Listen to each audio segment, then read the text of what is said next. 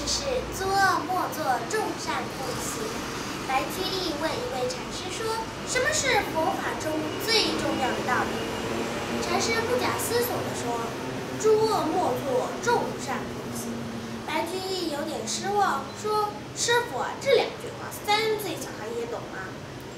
禅师郑重地说：“三岁小孩虽懂得，八十老翁未必行得。”今天故事要讲到这里，谢谢大家。